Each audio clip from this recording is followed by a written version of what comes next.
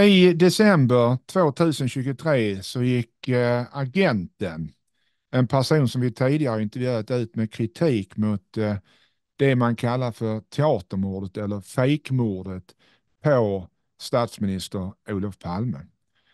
Den som eh, ville gå i svaromål på det här och den som det gällde var Claes Hedberg.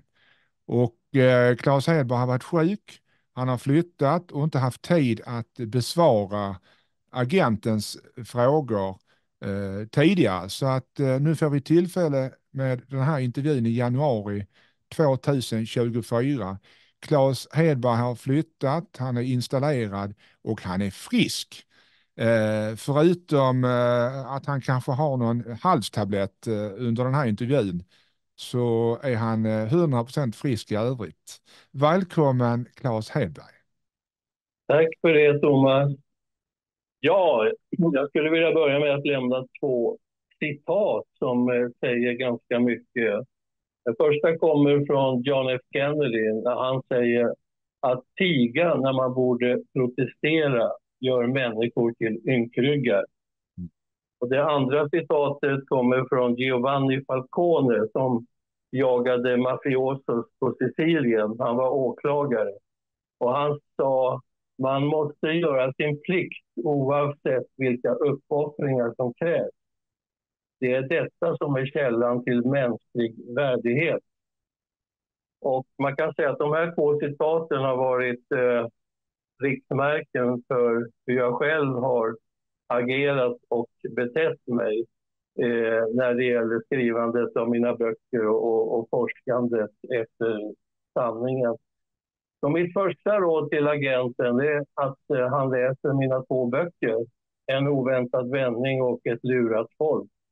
För då kommer det att klarna för honom. Svaren på hans frågor finns där.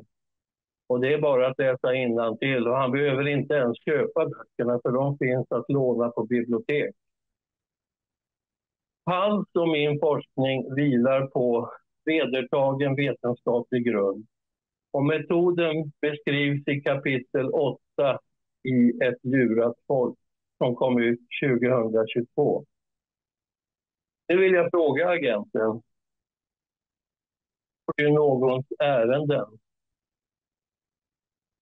Har du en uppdragsgivare eller agerar du helt på egen hand? Och var, varför döljer du dig genom att vara anonym? De som intervjuas i Thomas Kytaneves program framträder med namn och utseende.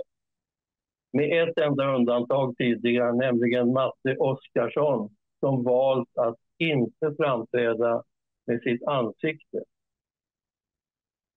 Det första, det första man måste fråga sig är, blev Olof Palme mördad 1986? Eller blev han inte mördad? Kom Olof Palme till mordplatsen efter biobesöket? Eller blev han möjligen utbytt av en kopia? Om Olof Palme byts ut är nästa fråga, blev Palmes stand-in mördad? Eller var det bara ett skådespel? Ett så kallat teatermord med lösa skott och teaterblod.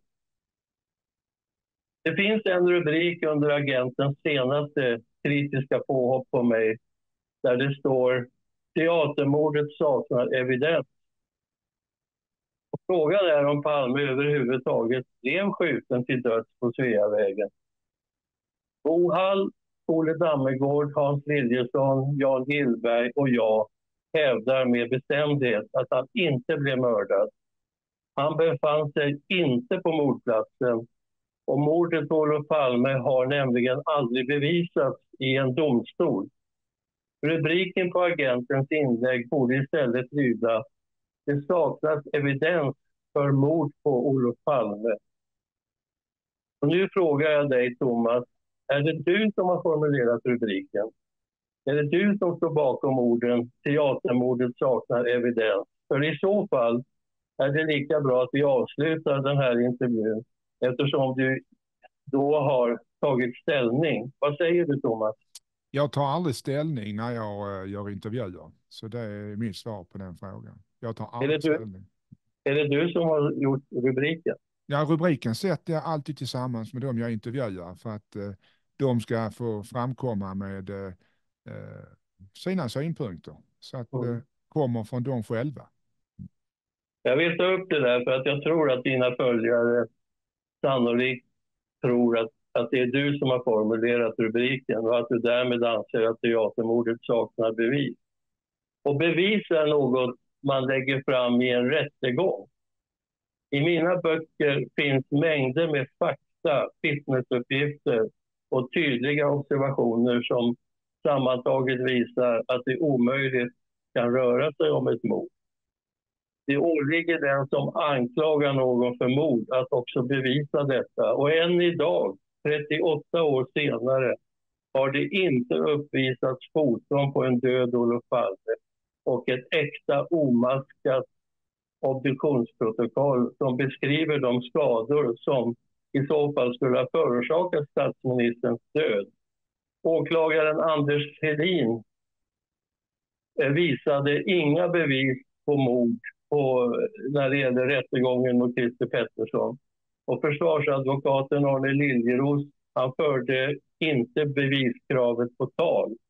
Kanske vågade han inte, ja mest troligt kanske han inte fick kräva detta med hänsyn till Lisbeth Palme och familjen som också hade begärt sekretesskydd av obduktionsprotokollet.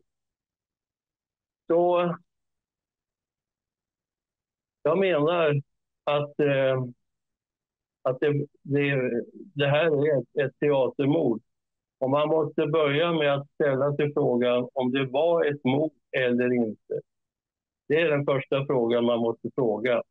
För det råder så många oklarheter om vad som egentligen hände på själva mordplatsen. Var kulorna utplacerade i efterhand? Var det Palmes eget blod som låg på trottoaren? Varför stod det byggbaracker på Tunnelgatan? Varför var lampan ovanför mordplatsen släckt vid tiden för skjutningen? Och varför dröjde det så länge innan förste polis kom till platsen? Och så vidare, och så vidare. Allmänheten har matats med ordet mord. Mord, mord, mord i 38 år.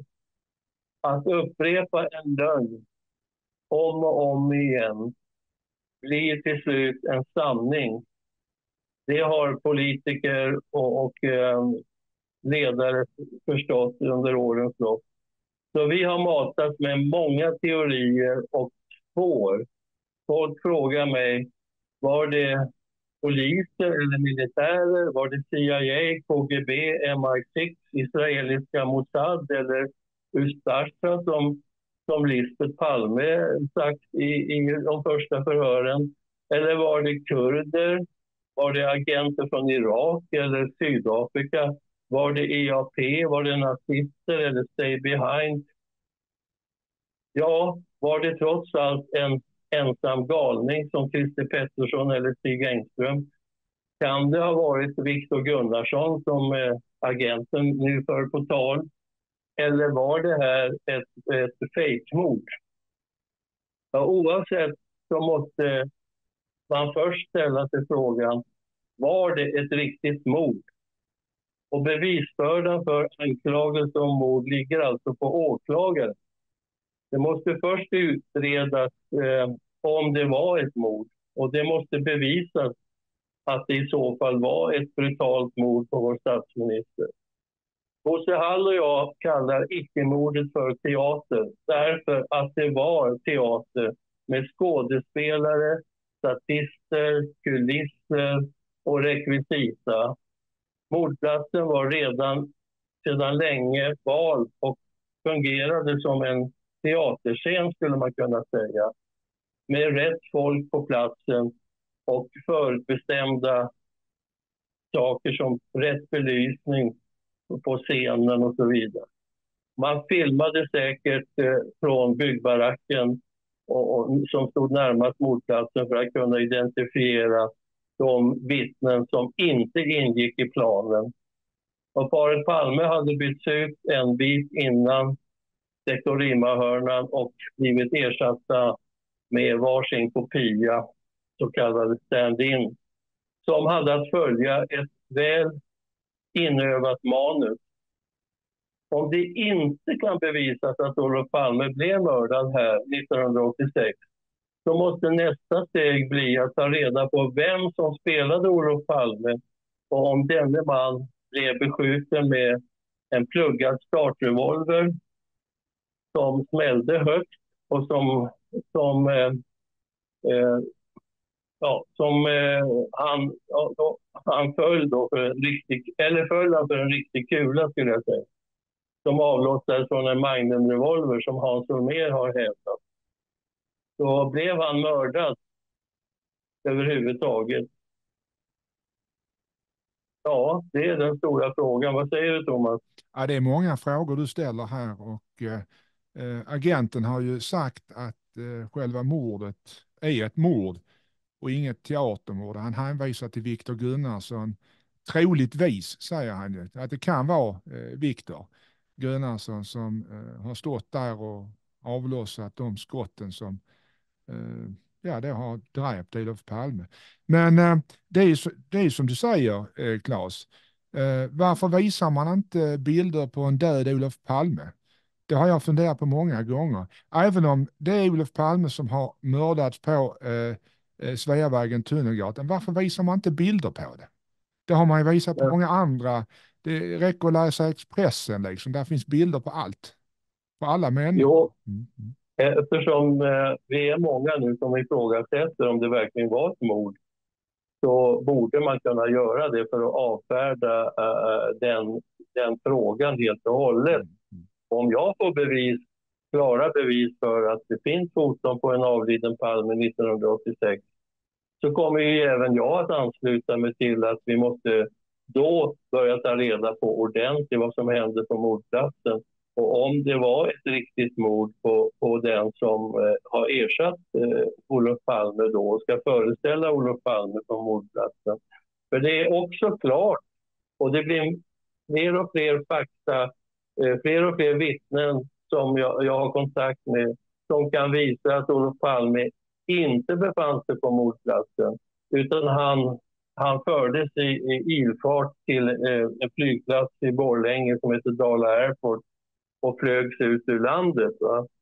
Eh, och, och, därför så bör man ju ta reda på vem var det då som spelade Olof Palme och blev i så fall denna person mördad och av vem. Så att eh, du, men... rör sig. Mm. Ja. du menar på att det finns, Olle Dammegård säger ju själv att uh, eh, den personen som fanns på Tunnelgatan, Sveavägen, var en man som blev skjuten men inte Olof Palme. Säger du samma sak? Håller du med Ole, Ole Dammegård här? Det gäller ju inte att hålla med eller inte, utan min, min uppfattning är att det är, det är teater, alltså det är teaterblod och det, är, det måste vara eh, en, en revolver som är pluggad och som smäller väldigt högt. Va? Och om man sen då går vidare på den tråden, den hypotesen, så har vi alltså funnit att man hittade den här 20-åringen som jag hjälpte dig att få kontakt med. Han var 20 år vid tiden för mordet. De hittade den här startrevolvern sju kvarter från mordplatsen på, på Markvardsgatan Eh, och lämnar in den. Och han har ju uppgivit att det var en pluggad startrevolver med två avlossade skott. Och eh, där kan det ju finnas en koppling. Det är min starka tro, tro att det, det, finns en koppling där. Och eh, så... Eh, eh, där måste ju så att säga en kommande sanningskommission gå in på det där och försöka få, få en förklaring till den här startrevolven. Och jag tycker att jag, jag blir väldigt beklämd över att, att äh, agenten också hoppar på 20-åringen och säger att han ljuger. Därför att när det här väl kom till medias kännedom, det var alltså hösten 1987, närmare två år efter mordet. Va? Då, hade, då hade man kallat in den här 20-åringen och hans fästmö eller flickvän då, till en visning av olika vapen. Och då tar eh, han upp en, en en revolver, en kolv, och visar att den påminde om den här i utseende och den var ungefär så här tung. Och det innebär inte, som han har velat göra gällande, att han pekar ut det här vapnet. Utan han hävdar med bestämdhet, och jag har ju själv träffat honom, intervjuat honom, varit på den här platsen där han hittade, eh, hittade revolvern, att han har fullständigt rätt. Det här är en ärlig och, eh, och seriös kille. Va? Och att agenten hoppar på honom här, det tycker jag är väldigt fult. Va? Att det här är, är väldigt tråkigt att, att eh, Ja, det, det, det, är en bit ifrån mordplatsen, om man nu ska kalla det för mordplats eller, eller teatermordsplats. Det är, det, är ju, det är ju en bit ifrån Markvärdsgatan ligger. Eh, om jag får tänka lite högt, jag kanske tänker fel, men om det nu är någon som skulle mörda Olof Palme på Tunnelgatan Sveavägen, är det rätt väg att springa för att sen ja, slänga ett vapen eller så? Vad har du för kommentarer till det? Tänker jag fel eller tänker jag rätt? Ja, det är rätt väg att springa. Eh, men det är ju så här att, att Matte har eh, tillsammans med mig fått fram eh, viktiga pusselbitar som rör just var, var tar skytten vägen och vad händer? Och det är ju faktiskt så att det finns vittnen som har sett en person liknande Ted Gärdestad som har kommit småspringande på Luntmakargatan i riktning mot Odengatan. Och eh, en person som eh, var väldigt lik eh, var väldigt lik Ted Gärdestad på den tiden, det var Joakim Palme. Han hade samma hårsvall och var jämngammal och såg väldigt lik ut överhuvudtaget. Och eh, eftersom det här är enligt min mening ett teatermord så, så vill man naturligtvis ha så få medverkande som möjligt. Så den uppfattning som både Lars Krantz hade och jag har det är att, eh, att eh, vår vän då, eller vad ska jag kalla honom, sonen Joakim Palme eh, mottar vapnet och, och, och skytten han springer upp för trapporna mot Malmskillnadsgatan medan Joakim då springer bort på Luntmakargatan och eh, tas för Ted Gärdestad. Va? Och sen svänger han in då Markvardsgatan och så slänger han ner den i den här gatubrunnen och det var väl inte meningen att den skulle hittas så snabbt efteråt. Men med tanke på att det är två skott avskjutna och eh, med tanke på att eh, vår vän 20-åringen då lämnade in det här och den inte skulle ha någonting med mordet att göra så borde han ju dessutom ha fått tillbaka den. Men man trollar bort den. Man vill inte att den ska komma fram överhuvudtaget och visas för allmänheten.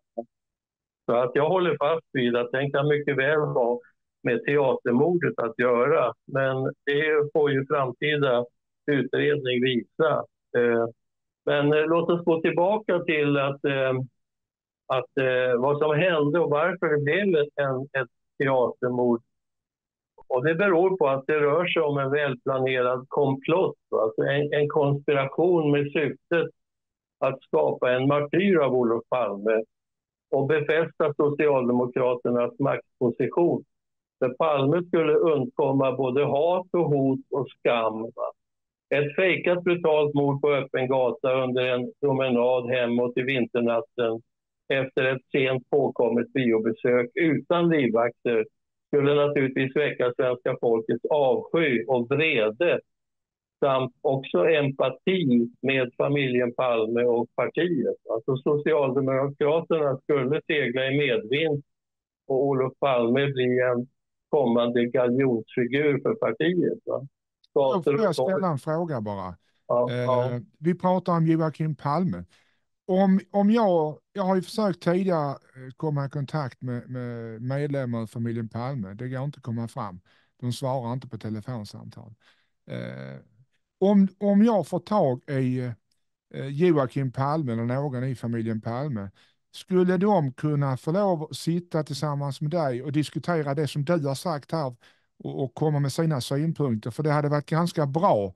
Eh, nu nämner du Joakim Palme, det hade varit jättebra om han hade fått lov att kommentera detta också. Men det är svårt ja. att få tag i familjen. Men hade du, hade du velat sätta dig ner och prata om det här med eh, det som hände eh, på Sveavägen, eh, ja, Tunnelgatan, med Joakim Palme. Hade du velat ta den diskussionen med honom? Ja, gärna. Eh, jag har ju till och med skrivit ett kapitel i min senaste bok. Eh, där jag, det är ett öppet brev till sönerna Palme där jag ger dem goda råd och, och just, eh, just föreslår att jag, jag ska få träffa dem. Så att med tanke på att jag jag är 100% säker på att både mamma Lisbeth och de två äldsta sönerna övertalades av partiet att eh, hjälpa till. Alltså. Och genom att de var med på det här och hade olika roller under mordnatten så, så blev ju det här scenariot eh, än mer trovärdigt. Va? Att Palme verkligen blev avrättad. Och det har man ju hållit fast vid. Va? Och man har man har försökt peka ut någon som har gjort det här och så vidare. Va? Så att eh, självklart skulle jag ställa upp på det. Frågan är om de vågar. Nej, för, för, och om det är så som du säger så är det ju ganska allvarligt. Så då, där borde ju eh, Joakim Palme få lov att gå i svaromål på det du säger här, tycker jag. Ja, det får han gärna göra, det är självklart.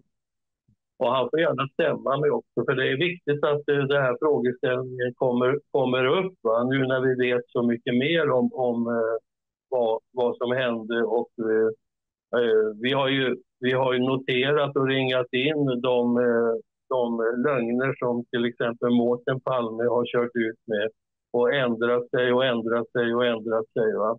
Det var ju till och med så att bara en tid efter mordet så ansåg Sven Anér och, och, och eh, även Jan Myrdal att eh, Joakim Palme borde ställas inför rätta eh, för mened, alltså att han har ljugit så mycket. Eh, inte Joakim, förlåt mig, Mårten Palme. Det, att, det, är eh, ganska... Kan, kan, du inte tänka dig att, att eh, familjen Palme, sönerna där, kanske mår dåligt av att man, att man pratar om det här som ett teatermord? Ja, det, det är klart att de mår dåligt för de har ju tvingats ljuga och, och hålla sanningen borta nu i snart 38 år. Så jag har ju i min bok vädjat till dem att kliv fram, förklara och, och, och, och berätta var, varför ni var med och var, vad, vad ni hade för order. För det, det, är ju naturligtvis väldigt fint att kunna ställa upp för partiet och, och, och hjälpa sin pappa. Eh, men att eh, man var ju också lovad av Hans Holmér och andra att det här skulle vara över på, på något år. Va? Men nu har det gått, snart gått 38 år och de tvingas ju fortsätta att eh, ljuga och det här tar ju på samvetet. Va? Man måste ha moral och eh, om de kliver fram och berättar för svenska folket att jo, så här var det, så kommer de, är jag säker på, få svenska folkets eh, empati. Va? Och vi kommer att förstå att de tvingades in i det här scenariot. Och, och, och då får vi också veta sanningen om pappa verkligen mördades eller inte. Eh, så att, eh, och det här kan ju bli väldigt bra för grabbarna. Då kan de börja eh, fungera som vanligt och slippa ljuga i framtiden. Och dessutom kanske de skulle kunna bidra till en bra bok och, och, och kanske en film om det här va, som skulle vara intressant. Så de kan ju bli mångmiljonärer på det här, skulle jag vilja säga. Det är ju tråkigt om mordet är på riktigt och man anklagar eh, någon för att ha medverkat. Men om det skulle ha varit ett, ett eh, fejkmord eller teatermord som du säger. Själva utbytet, det finns ju två ställen man skulle kunna tänka sig i så fall att man byter ut eh, paret Palme. Det ena är borta på teater, eller biografen Grand innan de går ut. Och det andra är ju i så fall nere vid Skandia. Eh. Ja, det här, är, det här är någonting som jag har diskuterat med Matte och, och några andra. Alltså jag skulle vilja säga att det är 5 chans att de byttes ut redan eh, innan eh, de kom ut från biografen. Och det är 95% säkert att de byttes ut eh, utanför entrén till eh, till Skandiahuset. För där har vi ju den här nattvakten och vi har bilen med de tonade rutorna. Och vi har eh, det här faktum att man testade walkie-talkies under dagen för att och, och, och se om det, om det fungerade. För det stod ju definitivt någon inne i butiken Sari och gav paret Palme eh, signalen till att börja gå samtidigt som eh, eh Dekorima-mannen då har fått sitt eh, meddelande via walkie-talkie att, de, eh, att eh, de kommer nu, gör dig beredd. Va? Och så ger han signalen då och så vidare. Men jag vill, jag vill backa lite och säga att jag har aldrig anklagat för sönerna för att vara delaktiga i mordet som, som, du, som du råkade säga här, utan de är delaktiga i det här, den här operationen och hade olika roller. Och de vet ju naturligtvis att pappa inte blev mördad, annars skulle de ju aldrig ha ställt upp på det här. Så att eh, de är inte skyldiga till något mord. Det är inte heller den person som har skjutit eh, med en startrevolver. Så, så egentligen enligt min mening finns det inget riktigt mord överhuvudtaget. Så att jaga en mördare är, är, är ju helt befängt. Va? Det är ju ingenting som man vinner på. Det finns ingen mördare enligt min mening. Så att Olof Palme skulle alltså efter den här händelsen på Sveavägen transporteras genom Skandiahuset. Där finns ju människor inne i Skandiahuset. Finns det en möjlighet, anser du, att Olof Palme och Lisbeth Palme kommer in i Skandiahuset utan att synas och sen då få hjälp ut på andra sidan, på baksidan och ta en bil därifrån för att sen eh, transportera sig till Borlänge, till flygplatsen där. Är det så du tänker här, Claes?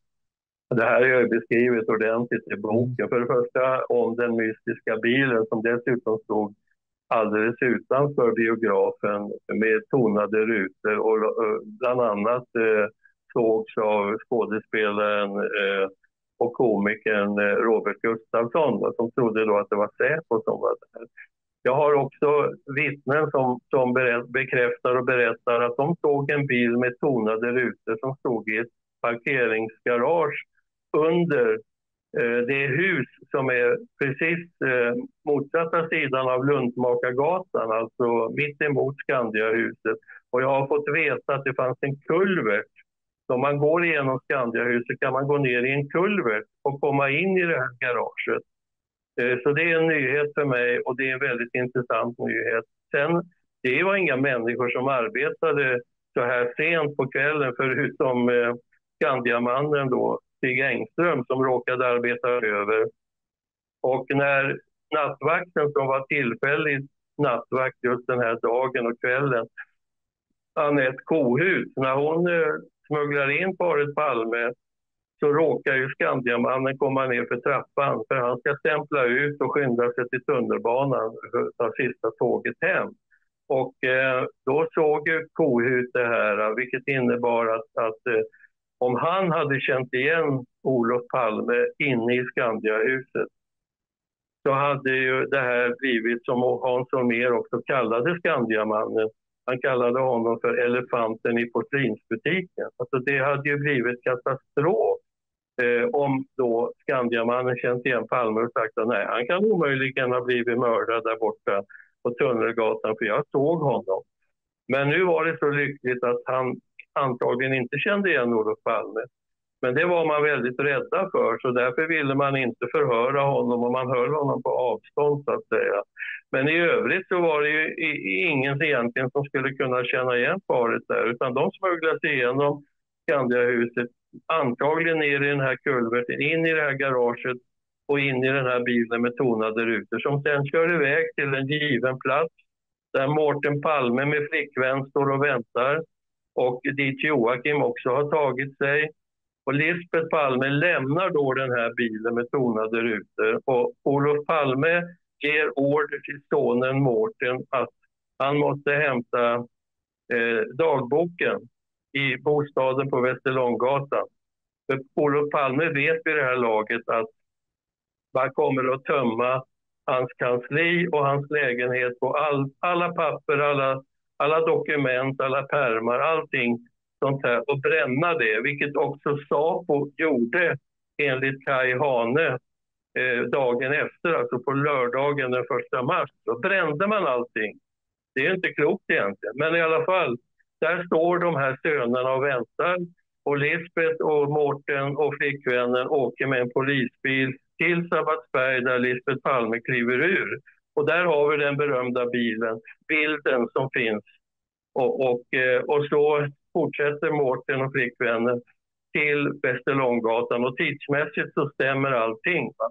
Medan Joakim Palme och Carl Lidbom, som också har befunnit sig i Stockholm här, hoppar in i bilen med tonade rutor som kör över Tranebergsbron där, där man har sett en massa polisbilar som sen, som sen eh, spärrar av alla angränsande gator ut mot Alvik och Bromma och Åkeshov och, och Blackeberg till Vällingby. Där man släpper av Joakim, för det ska nämligen se ut som han har varit hemma och sovit. Så han blir väckt sen och hans eh, kvinna och barn följer med honom sen till Sabbatsberg. Medan, för det var ju på den här tiden så att det var enda, enda sättet att komma ur Stockholm om man skulle mot Enköping och, och Sala och Borlänge, en sträcka på ungefär 20 mil. Och där står ju ett, ett eh, flygplan då, utlånad av president Mitterrand och väntar på Olof Palme. Det har lastats till och med av Hans Holmér tidigare på kvällen. Va?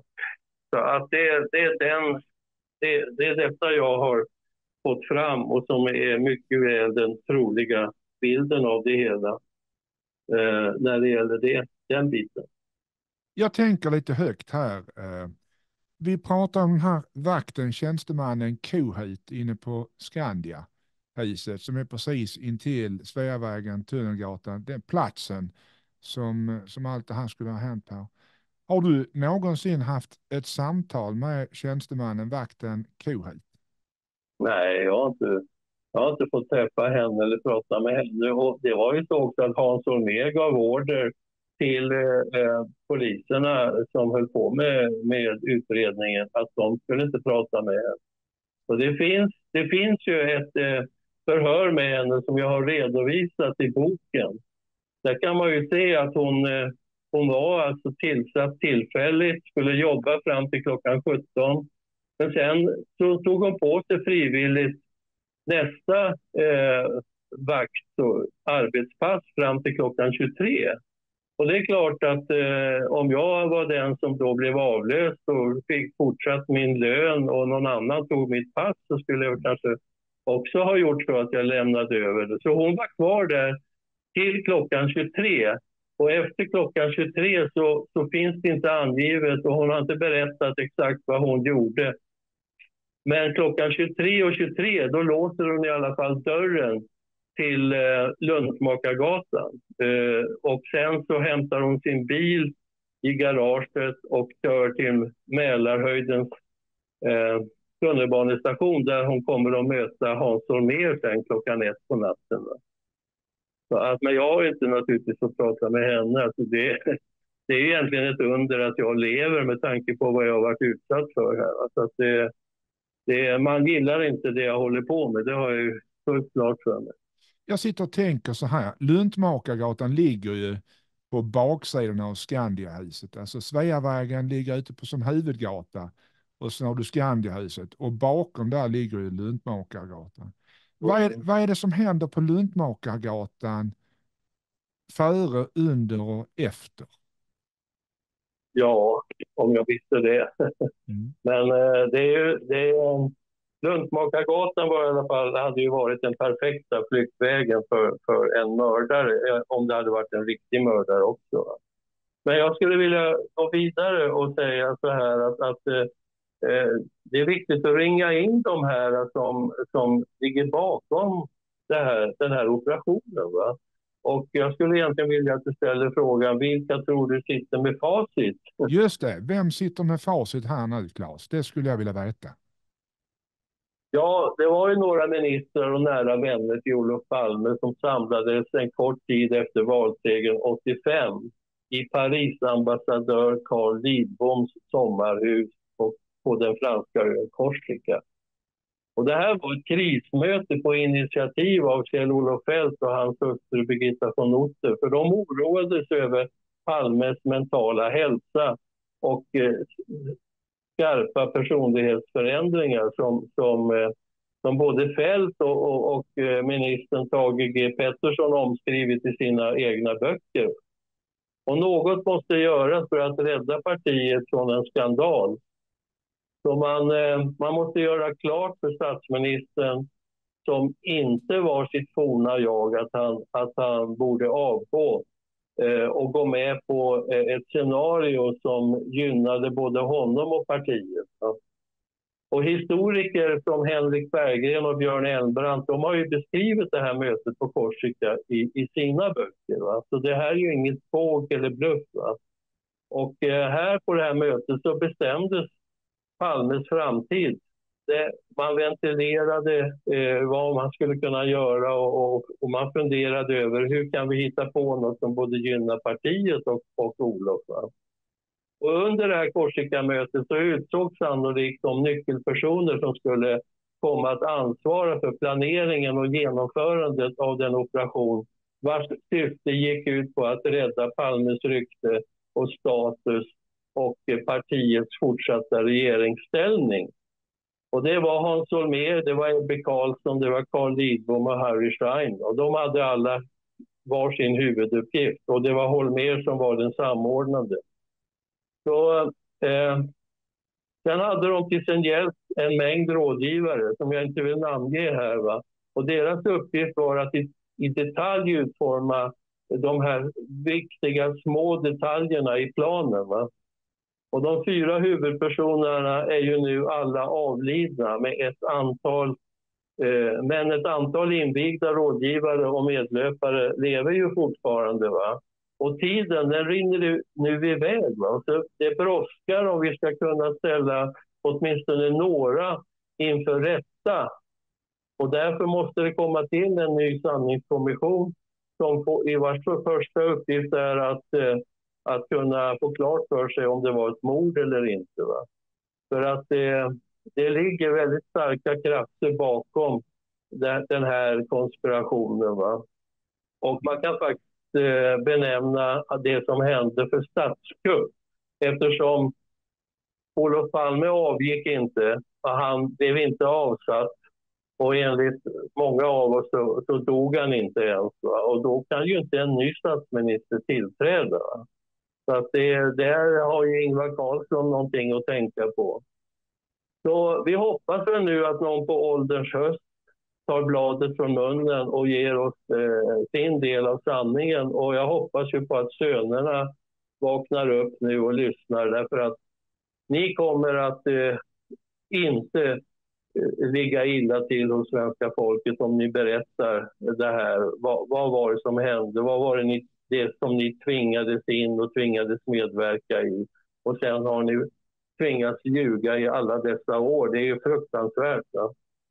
Men eh, agenten då, som säger sig ha sanningen, han, han påstår ju då att det var Viktor Gunnarsson som mördade Palme. Och var har han fått de uppgifterna ifrån? Och är det meningen nu att man ska damma av ytterligare en avliden person och, och kunna fylla på efter, efter både Christer Pettersson och Stig Engström som han har misslyckats med? Så eh, ja, åklagaren med det snarlika namnet Christer Pettersson, eh, han fick ju den otacksamma uppgiften att få allmänheten att acceptera att Stig Engström skulle vara mördaren. Va? Eh, så på så sätt är ju mordet egentligen redan uppklarat politiskt och juridiskt. Va? Så att vi står ju här som eh, fågelholkar och vi drar åt olika håll. Eh, alla de här kända författarna, Lars Borgnäs, Gunnar Wall och med flera, Stocklassa och, och, och, och, Thomas Pettersson, de drar åt ett håll och fortsätter att tjata om mordet. Och sen är vi några andra som Olle Dammegård och Hans Liljesson, Bosse Hall och jag som drar åt, åt det hållet att det här var inget riktigt mord. Och det måste vi undersöka fullt ut. Det, det, är det som är den springande punkten om vi ska komma vidare. Va?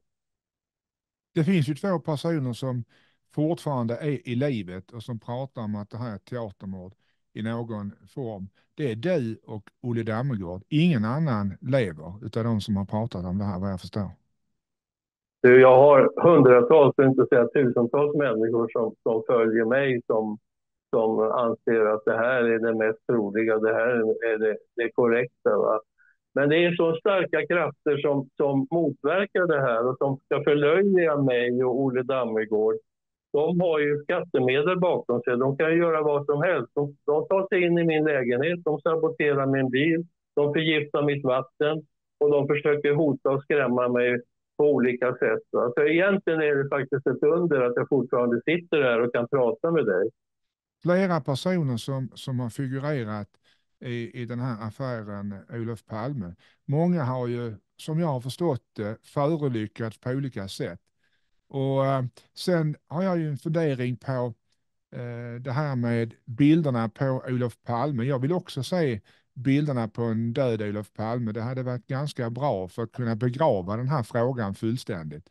Och där håller jag med dig eh, Claes, definitivt. Det är ju nämligen så att eh, jag tror det var granskningskommissionen. Det var Kari Ormstad, om jag har fått rätt uppgifter här, som hade visat bilder på en död Olof Palme. Har du någon information om det? Ja, det är bara bluff och båg. Och Kari Ormstad hon eh, fick hålla ett föredrag på SKL, Statens kriminaltekniska laboratorium i Linköping. Det här är beskrivet i detalj i, i min senaste bok. Och där försökte hon påskina att Olof Palme var fullt frisk, att han, hans organ var i, i ordning och, och, och, så vidare. Det var, det var också någonting som Ingvar Carlsson sa under begravningsakten i, i, i Stockholms stadshus. Va? Att, att eh, Olof Palme var full av kraft och, och, och tillförsikt och, och, så vidare. Han, han var stark. Men, men eh, det var inte alls så. Eh, vi har ju bevis ifrån eh, läkare eh, som eh, Elias Bengtsson till exempel, som var Palmes läkare, att, att han var i väldigt dålig form, hade drabbats av en, en svår virussjukdom. Och eh, Olof var ju också regelbundet eh, patient ute på, på, på Beckomberga. Och jag har ju träffat folk som, som träffade Olof Palme där och som, som kan intyga det. Och när pressen fick veta det, då, då, sa, då, då fick de till besked att hans mamma låg, låg för döden där. Men det stämmer ju inte alls, hon dog ju på 70-talet. Så att eh, det är... Det är där med Kari Ormstad, det är helt eh, befängt. Alltså. Hon ingick i den här planen. Hon, hon och Jovan Rice, som var de två obducenter som tillsammans med den äkta och ärlige eh, Milan Valverius skulle eh, då obducera den här kroppen som kom till rättsläkarstationen i Solna. Och, och Valverius sa ju nästan på en gång att det här är inte Olof Palmes kropp. Och dessutom är den manipulerad, vilket man inte får göra om, om någon har blivit mördad. För då ska, då ska man liksom kunna eh, se exakt hur skadorna har gått till och så vidare. Va? Och sen så några år senare så dör Milan Valverius och hans hustru i ett vad man säger kollektivt självmord.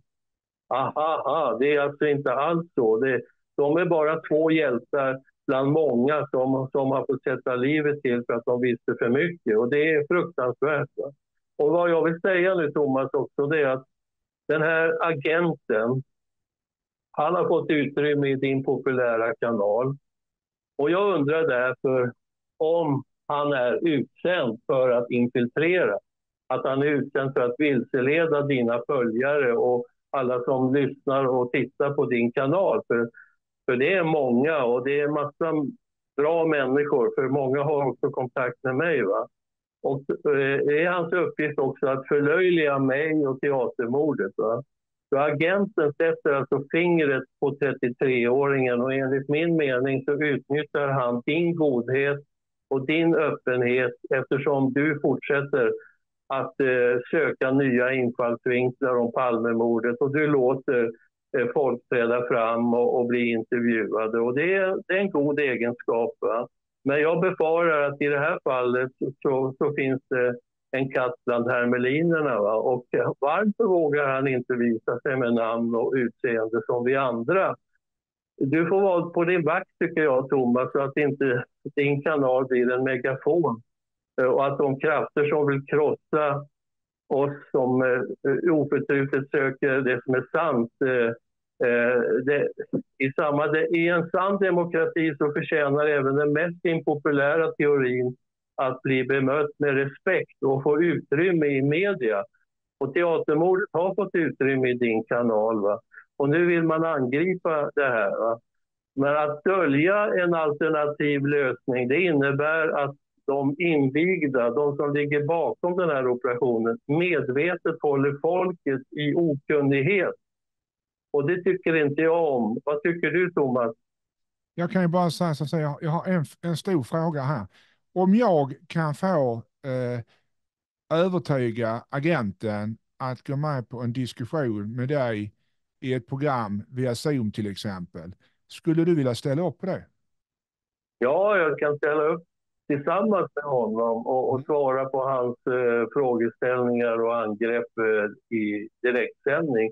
Eh, men det är ingen idé att vi håller på här i, eh, i varsitt program och, och det blir någon form av pajkastning. Och jag vill inte kasta paj på honom, men jag har rätt att ifrågasätta vem är, vem är han och vad är hans syften? Och går han någons ärenden? Och, och, jag vill värna om att din kanal fortsätter att vara, hålla hög standard. Och att det, det är intervjuer med, med människor som är trovärdiga. Jag har, jag har ju ofta fått eh, frågan från, från, andra personer som har kontaktat mig att de tror att alla som företräder en teori att de är någon form av betald opposition. Eller betalda eh, människor.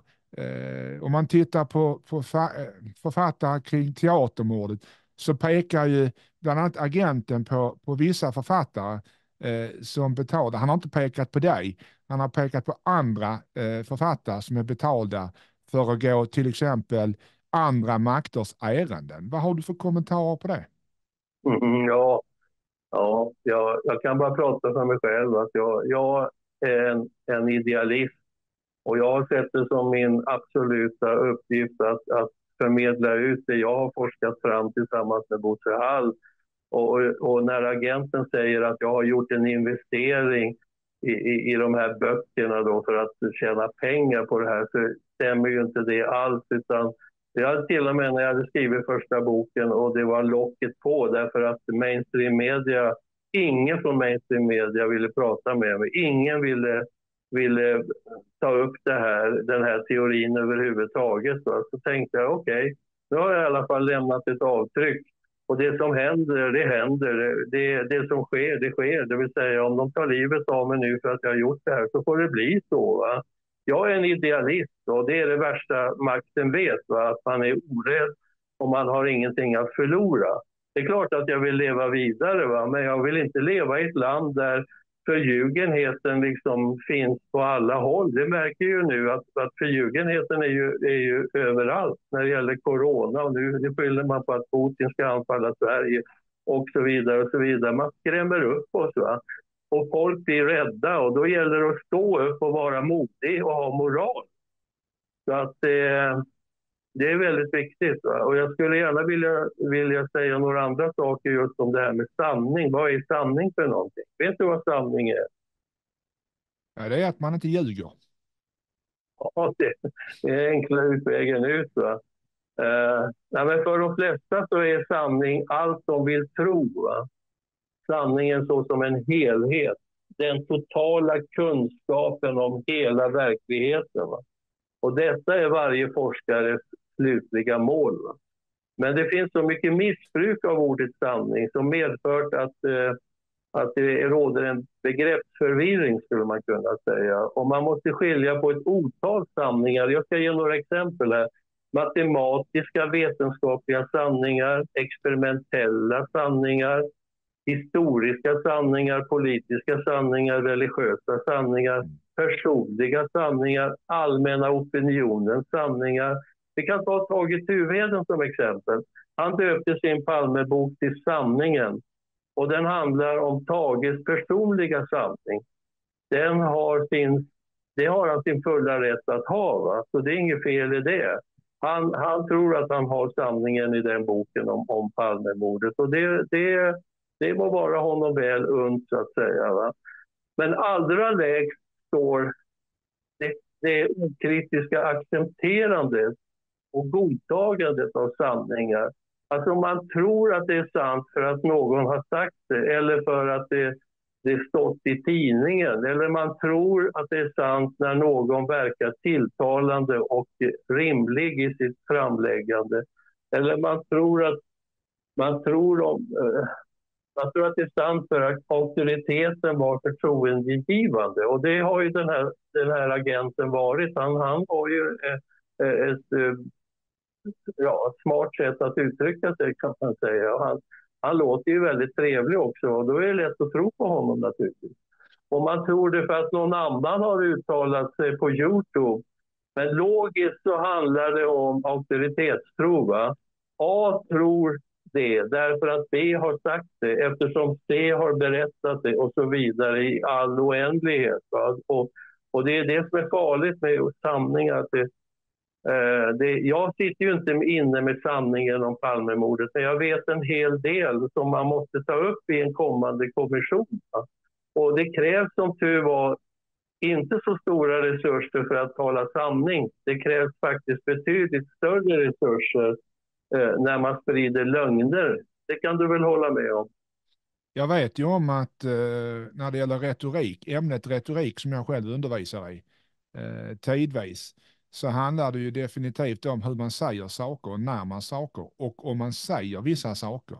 Man kan, mm. man kan låta bli att säga saker, man kan utebli med svaret på, på vissa frågor, det är också ett svar.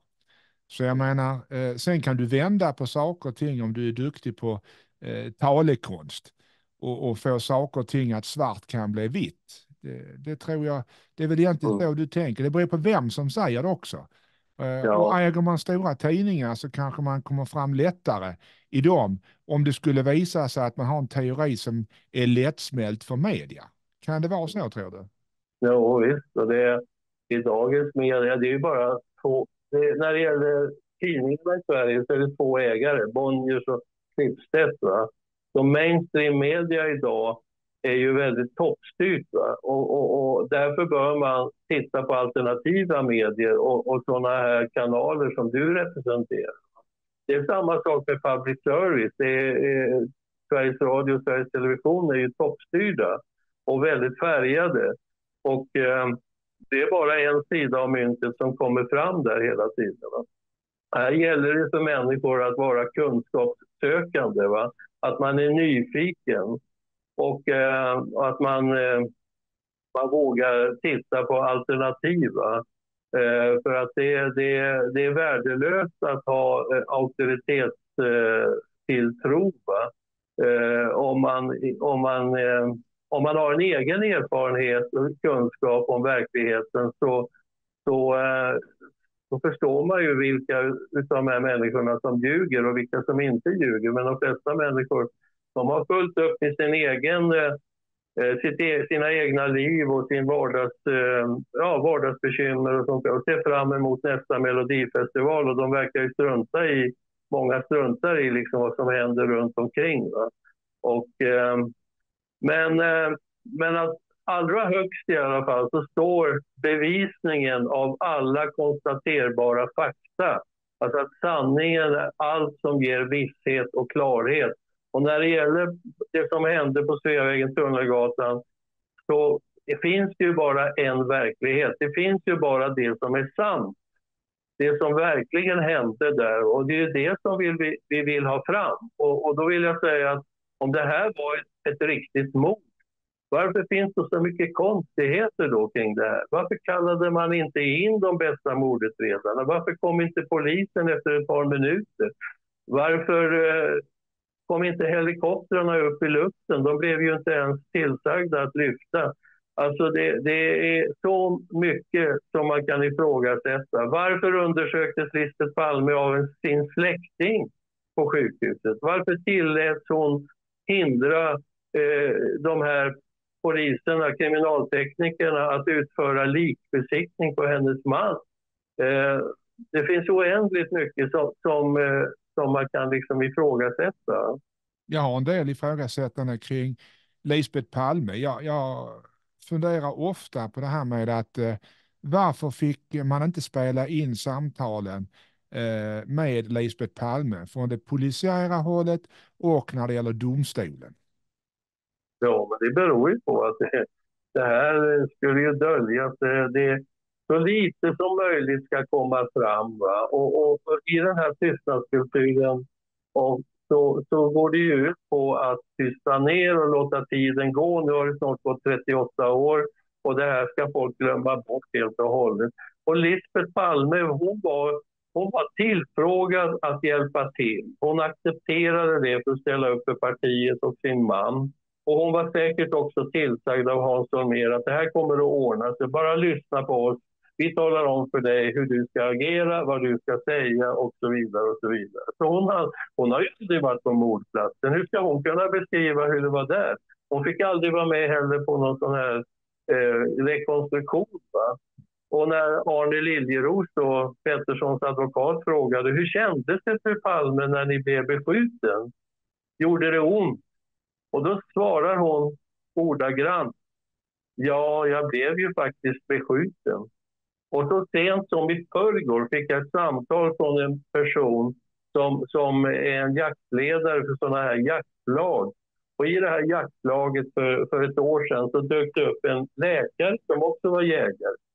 Och han sa det att han hade tagit hand om Lisbeth Palme för hon hade fallit och skadat sig. Det här var alltså eh, i början på 2000-talet.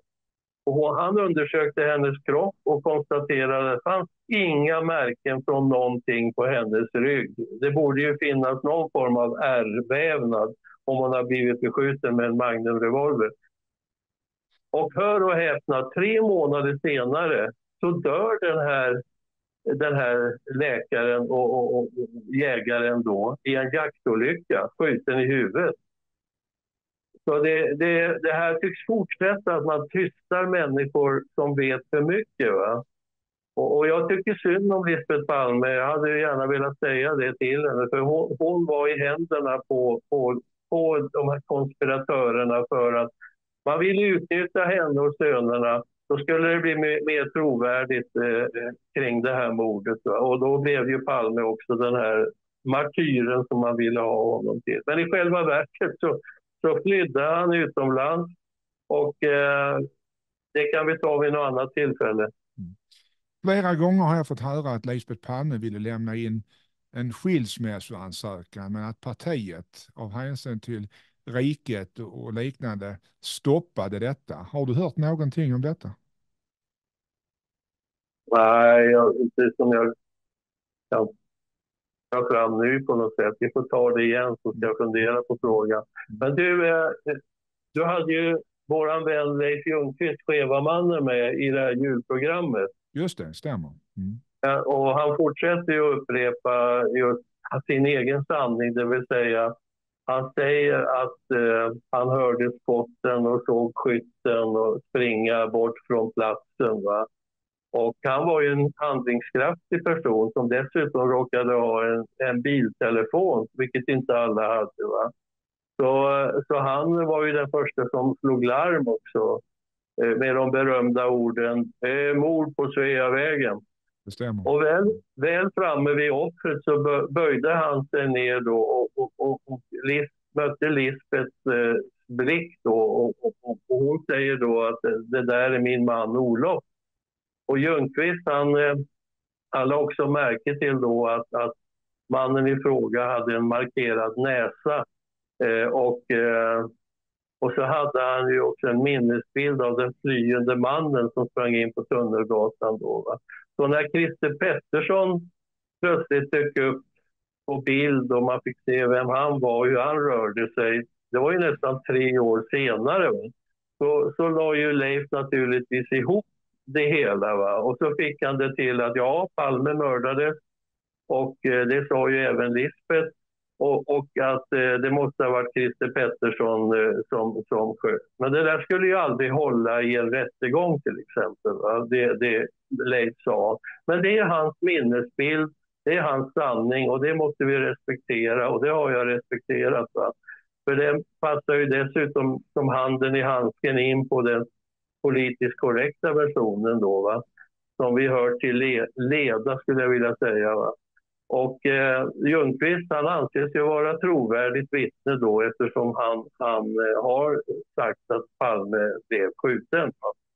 Men låt oss titta lite grann på Leifs berättelse lite grann. För att eh, ja, han har ju deltagit i två seminarier som jag arrangerat i Ljungby om Palmemordet 2020 och 2022. Va? Och en tid efter det första mötet så frågade jag Leif hur kommer det sig att du hamnade här på Sveavägen? Vad gjorde du halvtimmen innan? Och så redogjorde han för det väldigt noga.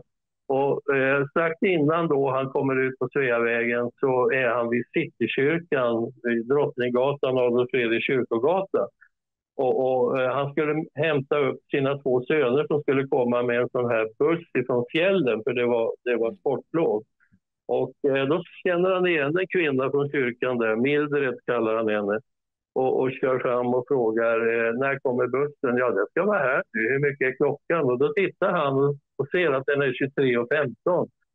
Och, och till mig har han ju då sagt att eh, det vet jag med bestämdhet och jag kör fram sen till Sveavägen och det är rött ljus och sen när det blir grönt så svänger jag in på Sveavägen och kör kanske en... 20-30 meter, då hör jag en väldigt stark knall. Då, va?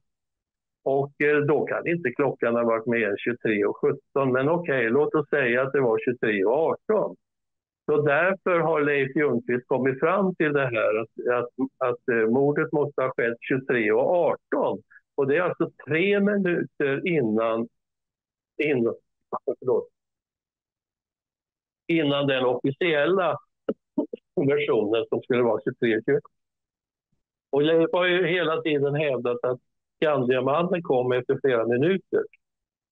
Så om, om skotten faller 23.18, Skandiamannen stämplar ut 23.19, då har ju han ett alibi. Och han, han gick till och med och pratade med den avlösande nattvakten som hoppade på efter Anette Kohut och pratade med honom innan han skyndade bort mot Kungsgatan för att han skulle åka tunnelbana.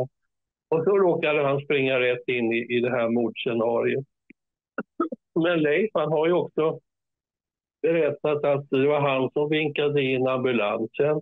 Det var han som upptäckte att lampan ovanför mordplatsen var släckt vid tiden för mordet men tänd några timmar senare när tv var där och filmade.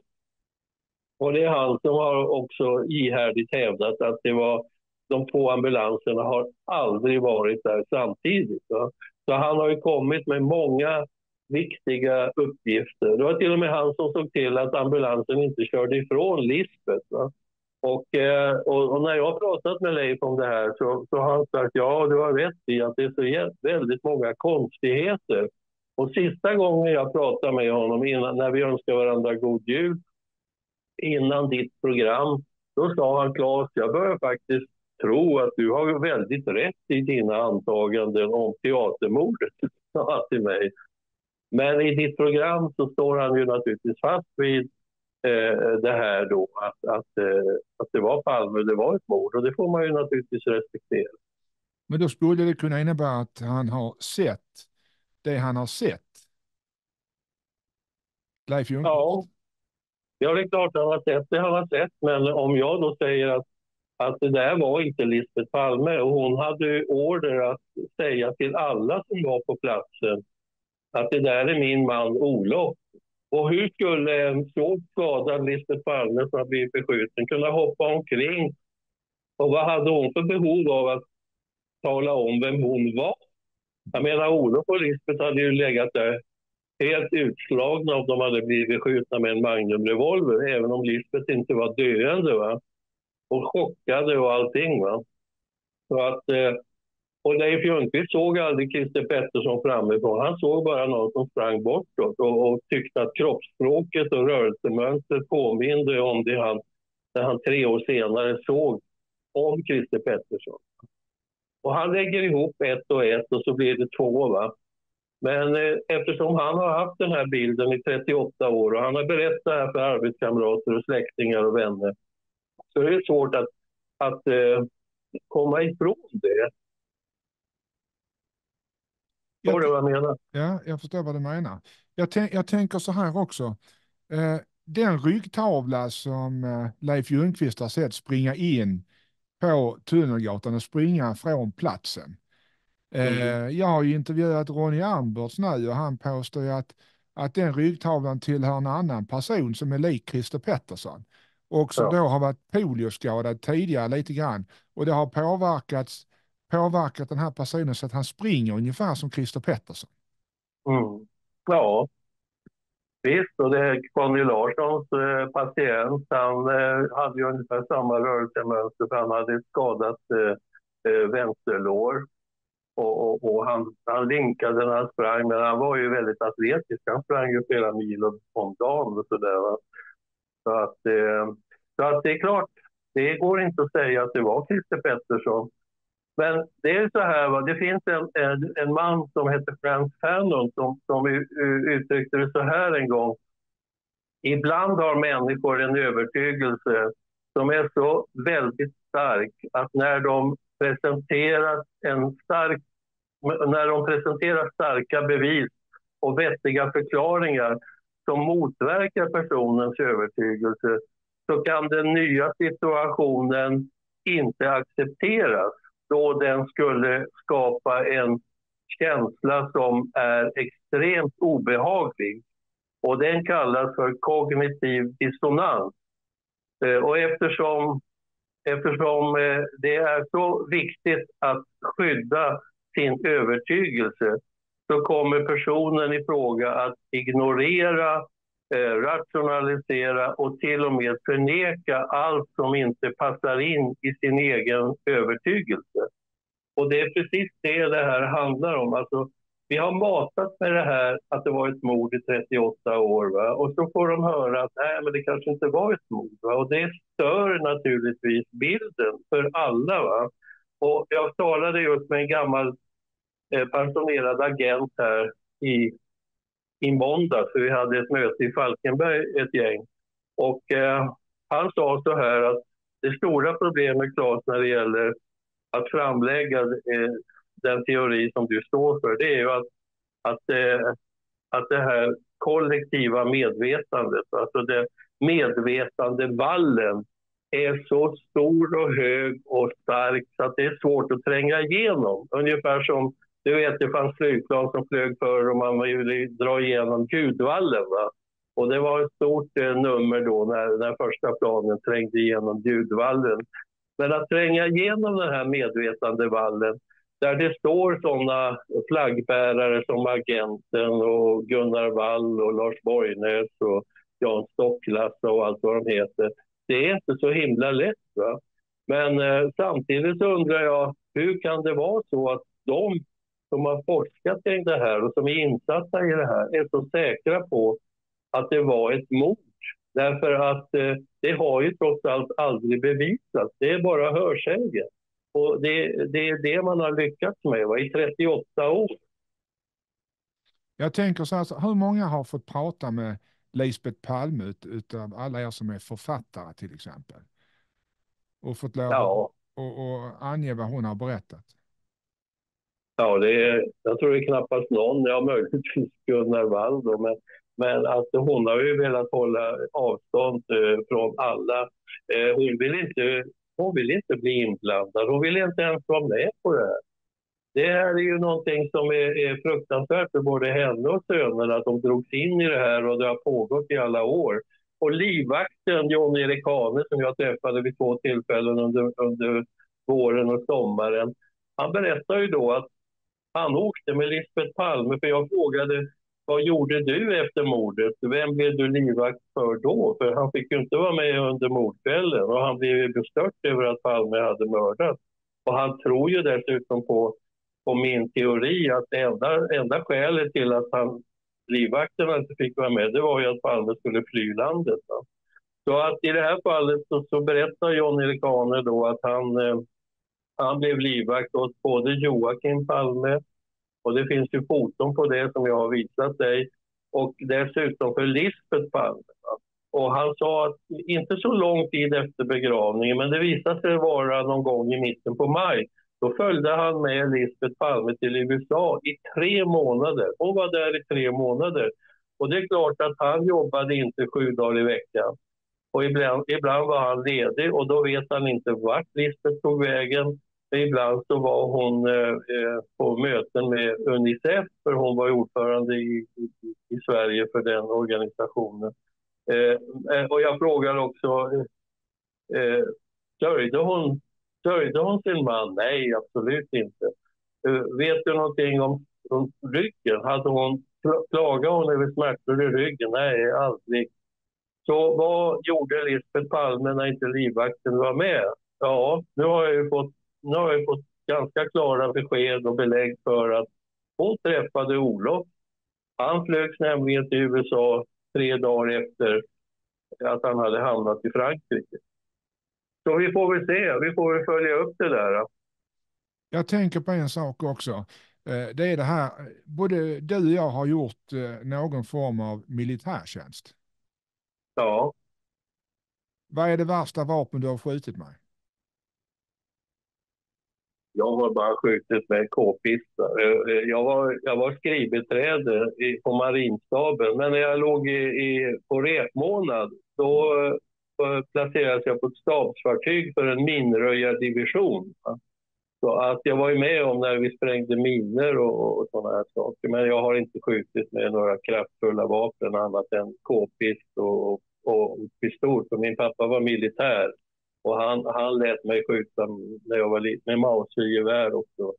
Jag var väldigt duktig på att skjuta för jag, jag är astigmatisk så jag har varit översyn på vänster öga så jag, så jag vann de flesta skyttetävlingar när jag var liten. Okay.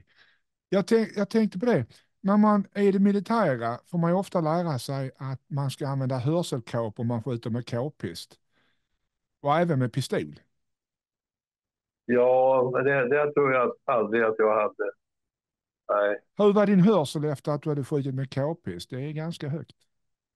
Ja, men du vet jag är gammal discjockey. Jag har ju spelat många decibel på diskotek, även om jag inte kanske var den mest eh, alltså, den högljudda, mest högljudda discjockey. Jag har ju överlevt alla mina discjockeykollegor, men de, de fastnar ju också i alkohol och, eh, och nikotinbehov. Så, att, eh, så jag är den, en av få som har överlevt. Men eh, min hörsel är bra. Däremot har jag ju problem med synen och, och, och, och, det här vet man ju om. Man har ju sprutat in gas i min bil sex gånger och, och det här ifrågasätter agenten. Han, han liksom i princip, eh, ja, ska liksom idiotförklara mig och det tycker jag är tråkigt va? för det är sanningen va? Och, och det här kan ju Tage Duveden mycket om, han är själv utsatt för det här. Det är samma gas som man dödar grisar med. Och det kanske de tyckte det är väl bra att döda den här grisen. Han är mytoman och han heter Claes Edberg vi tar livet av honom. Den här gasen du, den lägger sig på botten i bilen och sen när bilen blir uppvärmd så, så far det runt då och, eh, och så blir man väldigt trött och, och, det här är ju farligt. Jag skulle ju kunna köra ihjäl någon annan men, om, om jag blir omtöcknad och, och, och liksom eh, somnar in. Va? Så det är fruktansvärda grejer och det här har inte utretts. Va? Det som driver mig väldigt mycket, Thomas, när det gäller Palmemordet, det är ju att det är så många människor som man har tagit livet av och förstört livet för. Och, och de är ju hjältar, de som har varit modiga nog att berätta sina delar av sanningen. Och det, är ju, det rör sig om hundratalet människor. Va? Och eh, många är ju dessutom trakasserade och hotade. Och, och, och, det finns ju fortfarande vittnen som till exempel flickorna vid, som eh, kände igen Dekorima-mannen. Eh, de är ju utsatta för eh, eh, hot och, om repressalier om de skulle börja prata med någon. Va? Och det är ju fruktansvärt. Det gäller också Gösta Söderström, Söderströms kollega Ingvar Windén. Jag har ju sökt upp honom och han är ju livrädd. Alltså. Han vågar inte tala med mig. Så att eh, det är, men, men det här borde man sätta igång med, med eh, förundersökningar om ett antal sådana här märkliga dödsfall. Va? Så, så att... Eh, ja, men kan, om, om... Jag kan mm. tänka mig så här. Vi ska, jag, ska, jag tänkte bara kort, jag ska komma till eh, de här finska flickorna och sen Bo Hall, din vän, som tragiskt gick bort i somras. Jag tänker börja med det här med när man skjuter i det militära med, med olika vapen. Jag vet ju själv att vi fick ju ha hörselkåpor på oss med det militära när vi sköt med k-pist. Det var, det var ganska högt ljud. Men om du skjuter med en Magnum 357, jag har gjort det ju och jag har gjort det med hörselkåpor. Och jag, jag tog lite grann eh, åt sidan ena, ena örats hörselkåpa för att liksom se eller höra om, om det där ljudet var sådär jättehögt. Alltså det smäller rejält.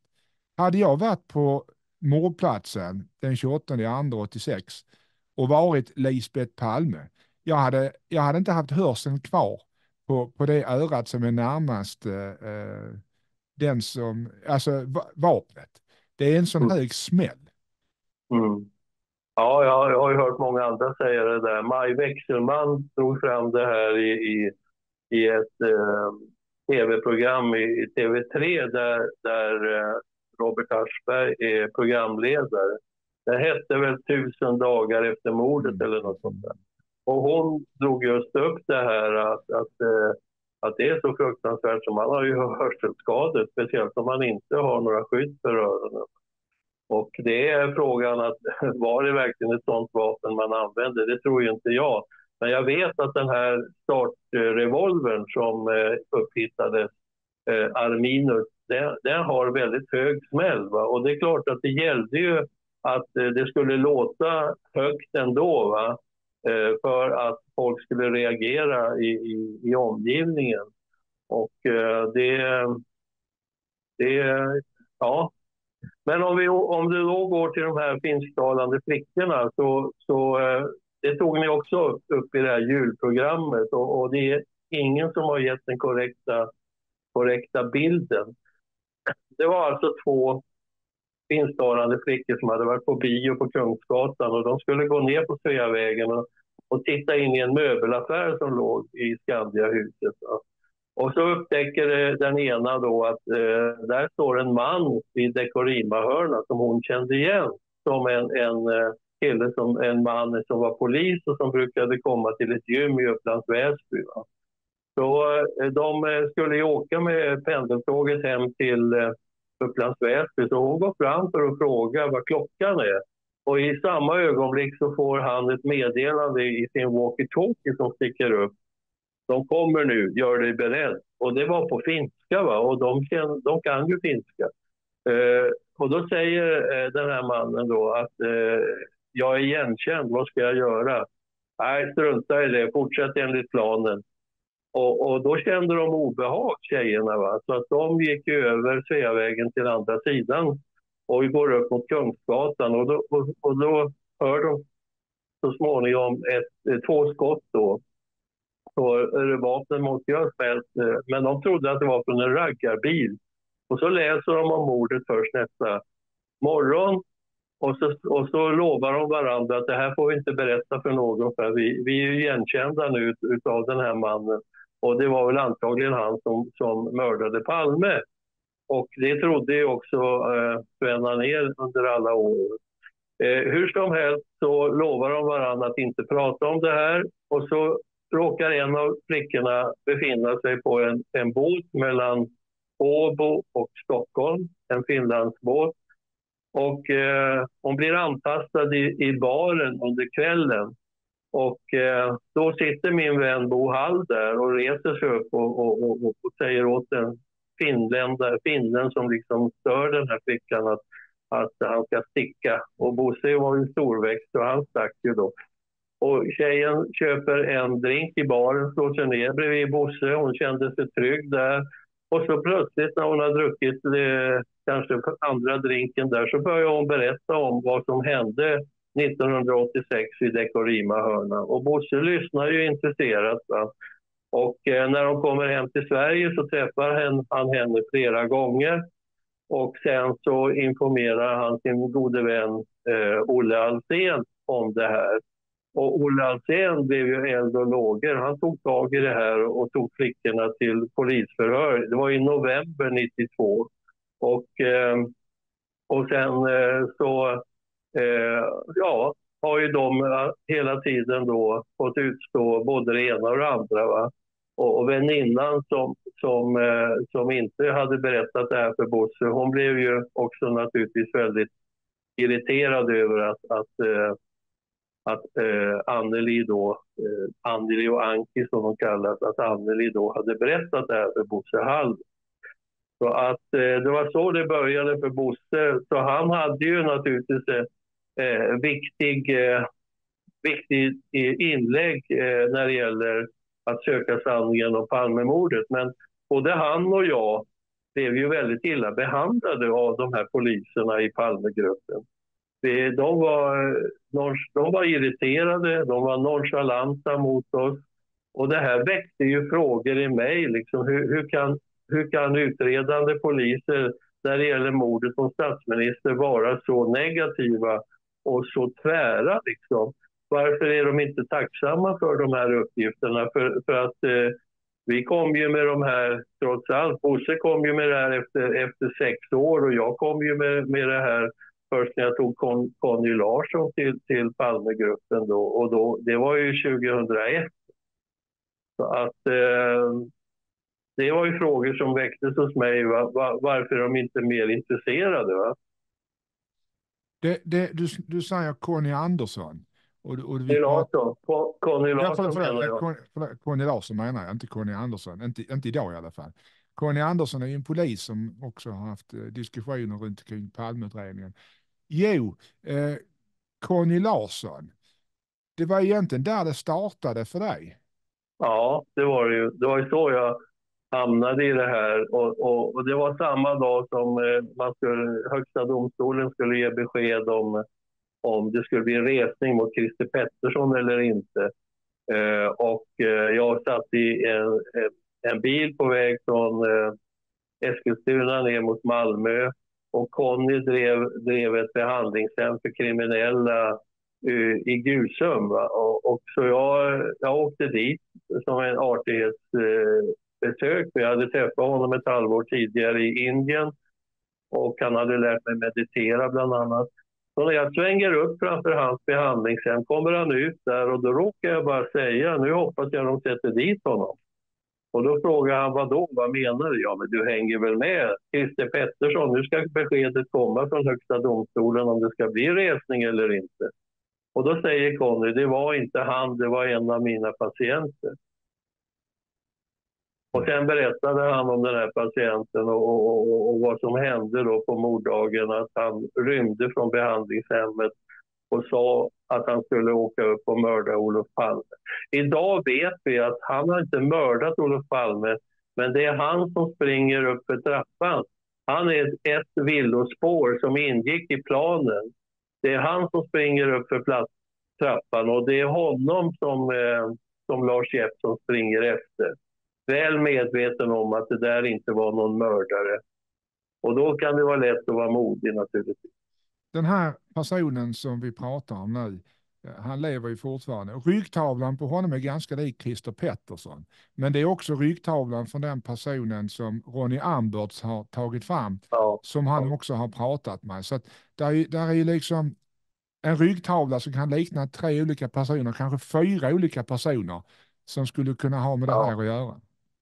Men den här ryggtavlan, alltså den här mannen eh, som eh, Conny kallar för Lennart, eh, han, eh, han är, står beredd eh, någonstans eh, längre bort på Tunnelgatan för att springa upp för trappen för att vara det här villospåret.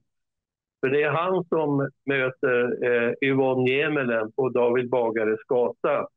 Och eh, Yvonne Niemelen möter ju strax därpå Eh, Lars Jeppsson på krönet eh, från trappan upp på Malmskillnadsgatan. Och, och, och, och, eh, och sen möter hon poliser i trappan som, som kommer till mordplatsen strax efter 23.30. Och om mordet sker 23.18 så har det alltså gått 12 minuter lite drygt innan poliserna kommer till mordplatsen och sen har det väl tagit ytterligare en och en halv minut innan de befinner sig i trappan. Så, så det här är ju ingen mördare som, som springer upp, utan det är ju en person som ska se ut som om det vore en mördare. Och det är därför man har manipulerat med tidsangivelserna för att, att eh, lura oss Och en annan orsak till att man manipulerade med tidsangivelserna det var ju att Olof Palme och Lisbeth skulle kunna hinna, hinna bort från området innan eh, larmet gick va? och att det började vimla av poliser där. Va? Så att eh, det finns mycket att säga om det där för att eh, Yvonne Nieminen var ett otroligt viktigt vittne och har behandlats otroligt illa på många sätt. Jag har ju träffat henne flera tillfällen och, och, eh, och hon är ju fortfarande livrädd. Va? Hon har ju varit utsatt för mordförsök. Och varför? Ja, för hon såg någonting som inte var lämpligt. Och hon har ju dessutom beskrivit den här mannen väl, både för Conny Larsson och mig. Va? Det passar ju väldigt bra in på honom. Och, och går man sen vidare ner till tecknerskan som står nere vid smala gräns så har ju hon tecknat av honom perfekt och beskrivit hans klädsel och, och rörelsemönster och sådär, vilket också Hans Holmér har beskrivit i sin bok som heter eh, eh Olof Palme skjuten. Att det, det, finns väldigt mycket att säga om många saker här som jag inte har haft tillfälle till tidigare. Jag menar, Jan Stocklass gick ut med en eh, bild eh, där han pekade ut eh, Jakob Tedelin som han heter, David Fredin. Ja, det är fruktansvärt. De försöker liksom eh, sätta fokus på flera personer nu eftersom man har misslyckats med Stig Engström. Så nu har vi både Viktor Gunnarsson och den här stackars eh, David Fredin. Alltså det, det, är, det är inte klokt. Och jag har sagt till David, det här måste du be en åklagare ta hand om. För det, det är ju, det är ju, det är ju ut, uthängt som en, att ha mördat eh, Olof Palme. Även om han har, har bytt ut sitt namn i, i, boken så, så har han ju avslöjat eh, var du bodde och, och, i princip vem du är. Så och jag tycker väl också att den här det här konferensen som ska vara nu. Jag, jag, jag ringde upp eh, Mattias Kressmark som är ansvarig där och sa att jag, jag kommer gärna men då skulle jag behöva 15-20 minuter och prata. Inte för att eh, eh, liksom trycka på angående teatermordsteorin utan, utan just det här med att eh, vi borde samverka allihopa för att eh, få fram sanningen om det var ett mord eller inte och att vi kräver bevis för mord. Så att vi alla står bakom ett gemensamt krav. Va? Och vi måste börja i den änden, annars är det ingen idé att prata om Palmemordet. För det, det, jag har döpt det här till Palmedramat. Jag tänkte på det, eh, jag ska ju själv vara med den 25 februari 2024 på den här Palmemordskonferensen. Eh, kommer du? Nej, jag kommer inte för att jag, jag, jag bad om taltid 15 till 20 minuter och det fick jag inte. Han sa att talarlistan är, är full. Va?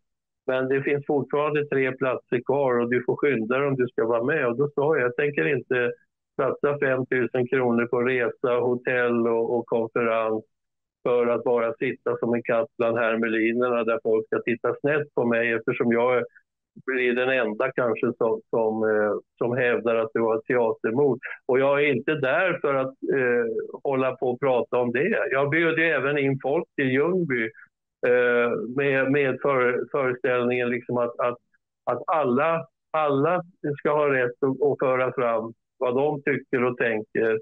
Och, och, eh, och i det här fallet så vill jag ju bara få taltid för att eh, dra upp just det här med att det har aldrig bevisats att Olof Palme blev mördad. Och det borde vi alla stå bakom, ett kravet att eh, få veta sanningen. Va? Men då sa han att talarlistan är full och så frågade jag vad, vilka är talarna. Så skickade han en lista på det och det är fem, sex stycken. Och det är som vanligt Borgnäs och Wall och det är Stocklassa och, och och jag sa, men du kan väl ta fem minuter från, från var och en så får jag ju 20 minuter i alla fall. Nej, det går inte, det får du inte. Och det är klart att han vill inte det för att då gör han ju bort sig eftersom eh, det finns ett motstånd. Alltså man, man kallar ju mig idiot i princip. Va? Och eh, jag, jag har skrivit två böcker. Om man inte orkar läsa dem och förstå eh, innebörden och alltihopa så, så Ja, vad, vad, kan jag göra? Jag kan inte stånga mig mot den här medvetandevallen som de själva ingår i. Va? Att, att eh, eh, det går inte att tränga igenom den. Eh, men jag väcker ju folk hela tiden när jag är ute och reser och träffar folk på bussar och tåg och, Och, och, och, och de liksom lyfter på ögonbrynen och säger, menar du? Vad är det här? Vad spännande! Hur får man tag i den boken? Och så vidare. Så att sakta men säkert så är jag är droppen som håller på att urholka stenen, Thomas. Mm. Mm.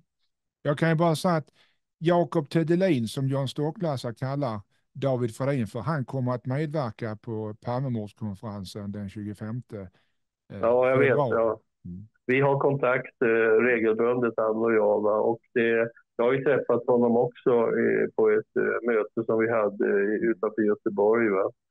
Så att det Men... Eh, det skulle vara kul om du hade varit med, Claes, även om Matte Oskarsson och agenten och några stycken till som vi har haft intervjuer med. Om de hade, jag vet ju inte vilka som kommer. Jag har inte sett någon deltagarlista.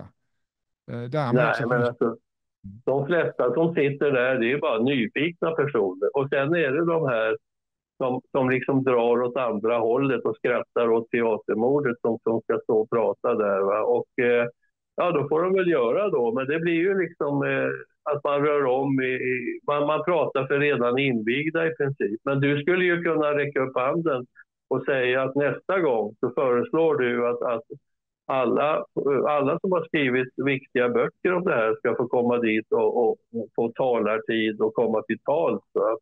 Annars så blir det bara inbördes beundran. Jag tycker det skulle varit roligt om du hade varit med.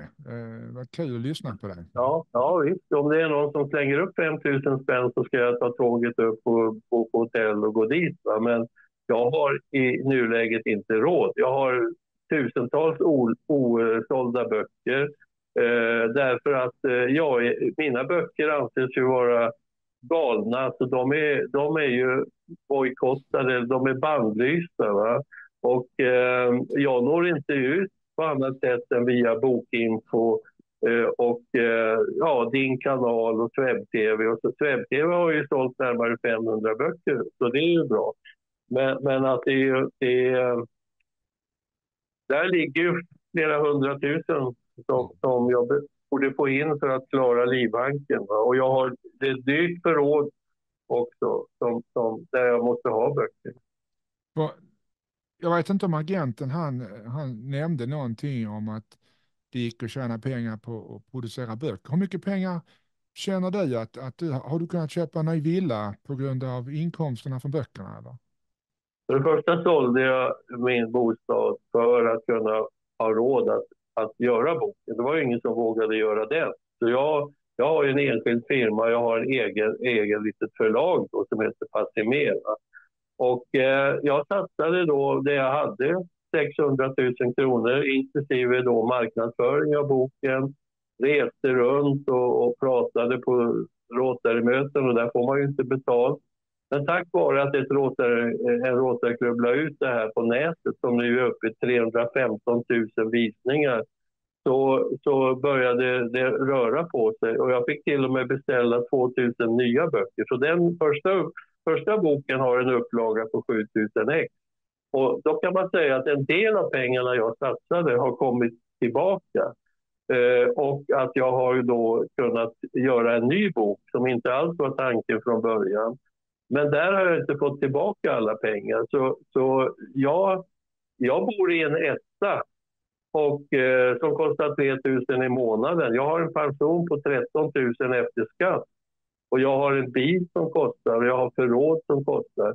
Så att eh, rik har jag ju definitivt inte blivit. Men skulle det här bli en film som eh, bland annat Ulf Brunnberg och, och med flera kända personer har, har sagt att det borde bli, då, då kanske det blir klirr i kassan. Va? Men, men jag har inte haft det för ögonen att, att uh, tjäna en massa pengar eller bli kändis. Eller, utan jag har bara gjort min plikt för att, så att säga, eh, berätta vad, vad, vad jag kommit fram till och, och jag måste föra Hans Liljessons eh, fantastiska eh, upplägg liksom, i den boken som också bandlystes, eh, Palmemordets hemliga scenario. Eh, Liljesson avled ju här nu under hösten, då, 93 år gammal. Va? Och, eh, och, och, det var ju han som så att säga satte fingret på, på det här teatermordet så att jag blev intresserad. För jag trodde ju som alla andra fram till 2013 att givetvis så var det här ett mord och givetvis så borde det ha varit Christer Pettersson. Va? Eh, jag intresserade mig inte för Palmemordet, men så hamnade jag i det här och så har jag inte gett mig. Va? Precis som bröderna Putin. Man kan inte bara sätta sig i soffan och rulla tummarna utan man, man måste ju faktiskt lyfta sig och göra någonting åt det. Man kan inte bara sitta och klaga. Va? Så att det här forskningen här och alla mina resor och hotellkostnader och marknadsföring och köra runt och sälja böcker till bokhandlare, det har ju kostat massor. Mm. Ja, jag förstår det. Jag tänkte, har du, tycker du att du har kunnat få besvara Eh, den frågeställning som agenten har, har eh, givit tidigare? Ja, alltså, jag kan ju ta två, två exempel bara som han, där han trycker på. Bland annat så sa han då att, att, eh, eh att jag hade varit ute och, och hållit föredrag i, privat hos folk hemma i lägenheten. Det har faktiskt bara skett en enda gång. Och eh, när, när jag berättade det här för dig då, eh, hur det gick till och nämnde namnet på den personen som bjöd dit mig, så visade det sig ju att det är en person som, som både känner dig och som känner agenten och som känner mig. Va? Och det var en enda gång i en lägenhet på Söder och det var väl sju, åtta grabbar som lyssnade och, och sådär. Så det har bara hänt en enda gång. Eh, och sen när det gäller Björn Rosengren så nämnde jag i första boken att han hade en bror som omkom i Oskarshamnsolyckan som heter Hans Rosengren. Men det visar sig att de är födda med tre månaders mellanrum. De kan givetvis ha samma pappa, men de har definitivt inte samma mamma.